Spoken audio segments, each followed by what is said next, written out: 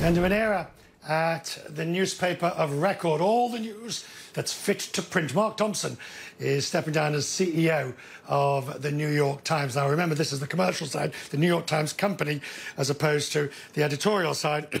he was previously the Director General of the BBC and he joined the Times in 2012. When he did so, an opinion piece in his own paper asked if he was the right man for the job. Eight years later, digital subscriptions have gone from 500,000 to more than 5 million. The share price is up more than 400%, and digital revenue has passed print revenue for the first time. Mark Thompson, uh, CEO of the failing New York Times, joins me now. Um, the failing New York Times, uh, says the president. Well, not so much, Richard. Really, I mean, certainly, if you look at the economics of the of the company, we, we've we've uh, been successful in the last few years in, in really proving out a model where whereby you invest in journalism. We've got more than 300 more people in our newsroom than when I started. Invest in journalism. Uh, get smart about how you package it and sell it as a digital product on smartphones and so on. And you can generate the loyalty and the subscribers which help pay for more journalism. So we've we've managed to get ourselves into a virtuous circle and we're one of the few news organizations to do that. The as as the ceo what do you think was the one thing uh, I read your article about? You know, you came in with a cold, open eye from being an outsider. What was the one thing that you noticed and thought, this is barking mad? I can change this in a minute? I just felt, but I have to. I feel this about TV. As you know, I'm, I'm I'm a TV guy and did work with you at the BBC, Richard. But the the just like our own industry, like like TV, I felt that the newspaper industry was was trapped in a psychology of the limits of the possible. You know that they they didn't really think that you could break out from you know a million million and a half subscribers um, we're at you know um, uh, more than six million subscribers now. Um, we set a goal of 10 million. I think the New York Times ultimately could could reach 10, 20, 30 million subscribers. And there's something about just raising your ambitions. In some ways, my ignorance about the American newspaper business, I think, helped me because I didn't have any of these self-imposed boundaries. And th th that's fascinating in its own right, isn't it? Because objectively, one wouldn't appoint somebody as the CEO of a major come particularly a, a gold standard who had no experience of that particular element of the industry.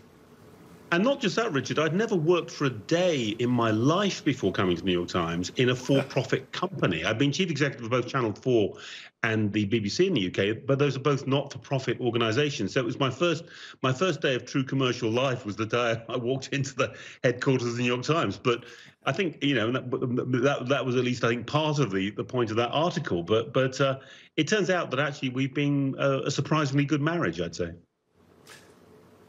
And on this, you've kept your hands off the editorial to, to, to, you know, in the extent that one can. Um, but the New York Times is in the midst of the editorial, same editorial throws that we all are, which is conservative versus liberal, what to say. And when you lo lost the opinion page editor, did you spot the sign of a crisis, do you think?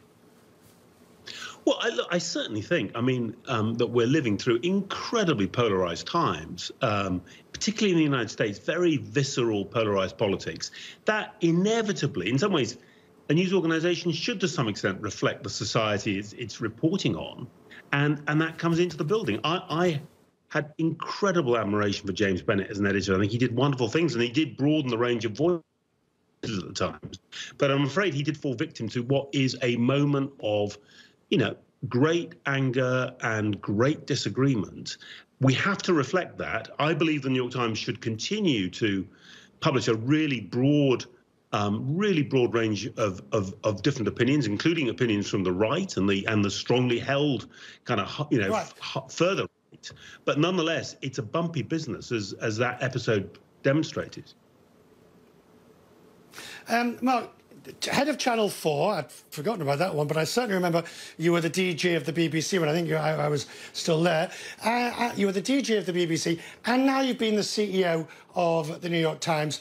Um, you're barely in your 60s, so what is next? People of your age, with your experience, and please do not try and flim-flam me otherwise, you do not go off to grow petunias and go fishing.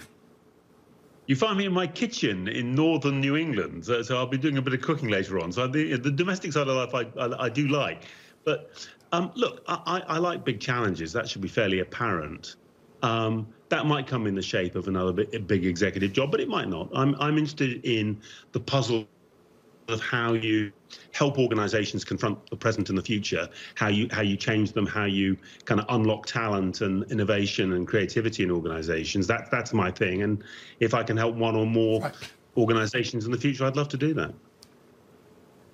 Well, we look forward in that role of helping others. We look forward to you coming on Quest Means Business once you've got a bit, maybe a bit more free time, and uh, we can talk about the future of industry and the future of economics as it's going forward. Mark, good to have you. Thank you, sir. I appreciate it. Thank, Thank you. you, Richard. See you soon. God bless.